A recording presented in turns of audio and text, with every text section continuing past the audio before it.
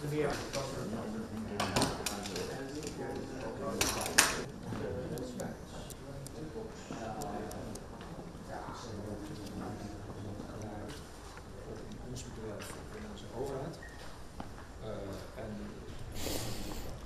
Uh, we call this uh, a grim year, and uh, because we see developing threats at the same time.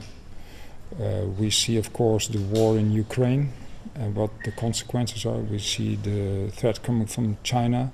We see the um, very urgent cyber threats, and we see upcoming threats from uh, jihadism, from uh, IS. And uh, that at the same time is, let's say, concentrating in our field of knowledge and field of, of working field. So uh, all at the same time, there is no place that, uh, let's say, we can relax. we should be very sharp.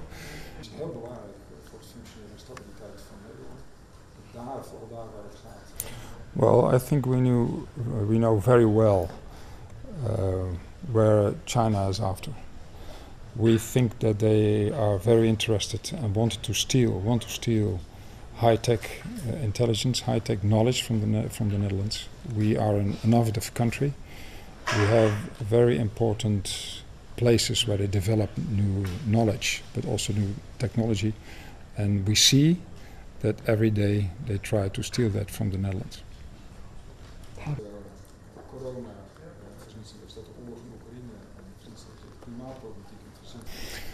The Chinese uh, use uh, cyber as a weapon, cyber as a way to to commit espionage, espionage, and uh, but they also send people to us, students, but also scientific uh, persons uh, of all kinds, to especially steal knowledge from very vulnerable places and very vulnerable areas of knowledge.